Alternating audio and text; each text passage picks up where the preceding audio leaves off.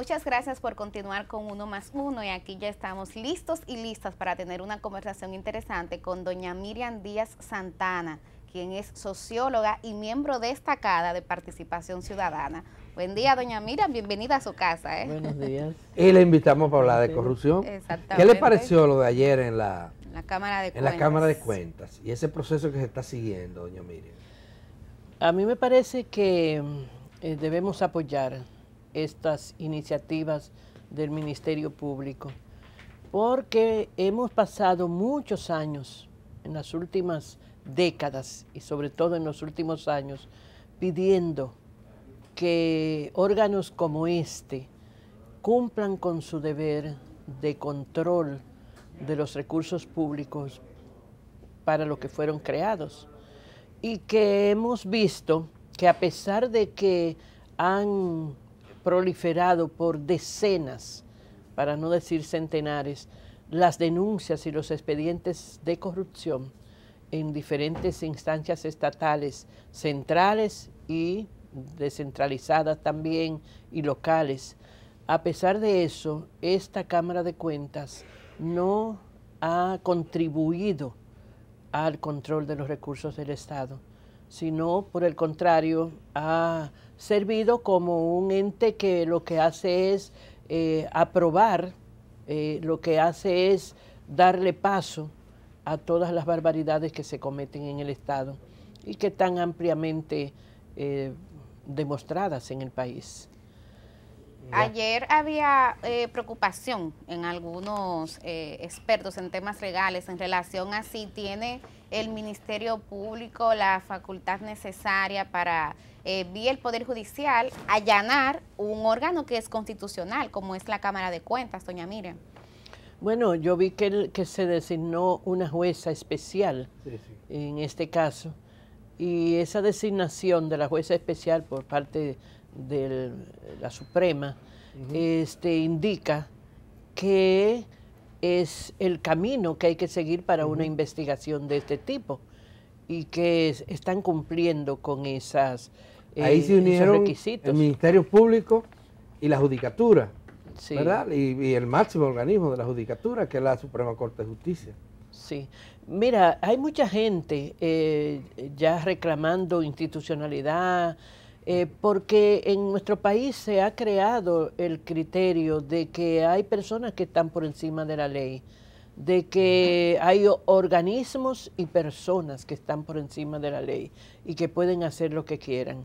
Entonces yo creo que no es el momento para eso, a menos que no se estuvieran produciendo eh, flagrantes violaciones a los procesos legales, lo cual no ayudaría a nadie, porque entonces se caerían los procesos judiciales cuando llegan a, la justicia si se han fundamentado en violaciones. Yo, eh, nosotros entendemos que el Ministerio Público hasta ahora está actuando dentro del marco de la ley y que está actuando, muchas personas preguntan, pero ¿cómo ellos saben? Bueno, todo ministerio público del mundo actúa en base a sospechas, en base a indicios, en base a denuncias. Y, o a- y a- aquí se han hecho inclusive en los medios de comunicación, doña Miriam. Claro, claro. Cuando se, se presentan a buscar determinados documentos, muchísimas veces es porque ya tienen ciertos indicios y porque ya tienen ciertas denuncias o soplos de que esos documentos están ahí y de que esos documentos corren riesgo de ser destruidos o, eh, en- en- y que van a obstruir un proceso de, de justicia. Entonces, eh, mucha gente se precipita a criticar. Pero el argumento para hacer la crítica es el mismo siempre. Persecución política. Cada vez que se habla de delito de cuello blanco y de delito político, ¿verdad? Donde están Sí. involucrados dirigentes o miembros de partidos políticos, siempre se dice, esto es por, por persiguiendo. Eh, Bueno, eh, imagínate, no solo eso, se utiliza el- el- ese argumento, lo he, lo he escuchado desde ayer y todos estos días, eh, pero también se utiliza el argumento de que manchar eh, eh, la, honra, el buen nombre de un organismo como esto le va a hacer mucho daño al país. Yo me pregunto, nosotros en Participación Ciudadana nos hemos preguntado todos estos años, ¿cuál ha sido la función de esta, este órgano? Que fue creado y que posiblemente existe en muchos países, pero que en, el caso del nuestro no se ha ganado el respeto. llegó al colmo, llegó al colmo, doña Miriam, de cruzarse de brazos y se quiero entorpecer las investigaciones para esclarecer lo que pasó con Odebrecht y la sobrevaluación de las obras.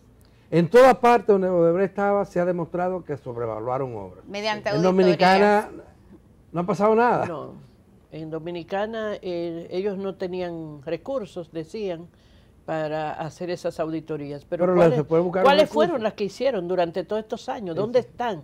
¿Qué pasó con esas auditorías? Y se aumentaron el suelo en el interín, hay que decirlo. ¿eh? Exactamente, o sea, realmente no, no se justifica lo que ha pasado con, esa Cámara de Cuentas. Y me parece que el momento justo es histórico porque ahora se está a las puertas de la elección de una nueva Cámara de Cuentas los aspirantes, las personas que quieren salir ahí, que, eh, tienen que verse en ese espejo y ver que la sociedad dominicana en el futuro probablemente, yo confío en que no va a ser tan tolerante como lo ha sido hasta ahora. Eh, no, va, no vamos a caer otra vez en el olvido, en una situación de indiferencia, donde nadie sacaba a la luz pública casos como estos.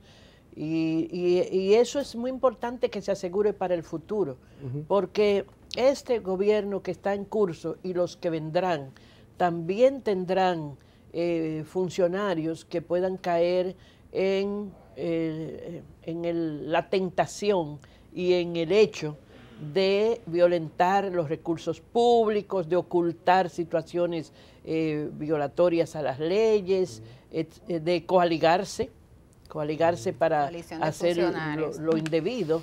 Entonces nosotros tenemos que superar eso. Recuperar la confianza del país en sus órganos constitucionales es una de las tareas más grandes que tenemos en el país.